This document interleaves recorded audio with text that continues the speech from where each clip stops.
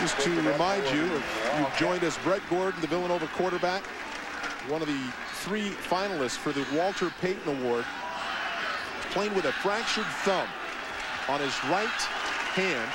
He's been busy today. 45 pass attempts despite that, Rod, and he's been sacked six times. Now remember, he could not hold a fork last night because it was too painful. They shot him up today so he could play, and he's thrown a couple touchdown passes, had a little bit of a lack of control of the ball at times, but has played just fantastic. Second and 10.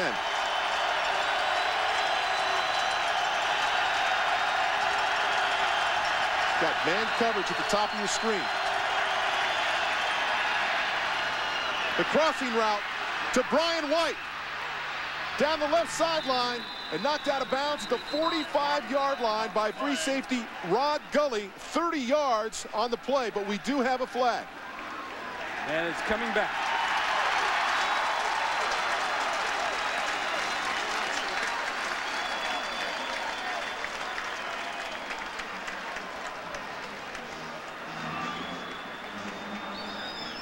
They haven't made it. They haven't made a signal. The officials still huddling about this call as Andy Talley looks on. Pass interference on the offense. Penalties assessed half the distance to the goal line. Each second down.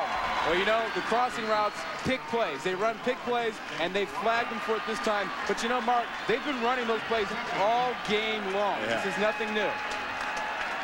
They run it to perfection that time. White coming out the back door. Wide open. All right. Over here. There's your pick coming, and they rub them off right there. Did you see that? The difference of 43 yards. It was a 30-yard advance on the play, minus 13 on the penalty.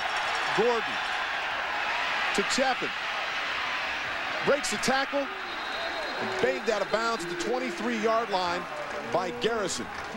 Well, they got him for the pick play, that play before, you know, brought him back when you rub off a defender like that. But they didn't get the late hit on Gordon. Gordon got blasted a couple plays ago. He's taken a tremendous beating. Whether they can get this third down at about 14, I think it's sort of irrelevant. They're going to go for them fourth down if they have to.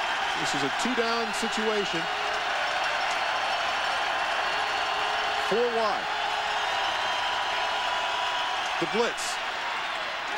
Chapman can't hold on. Well, the pressure made him get rid of it a half beat early.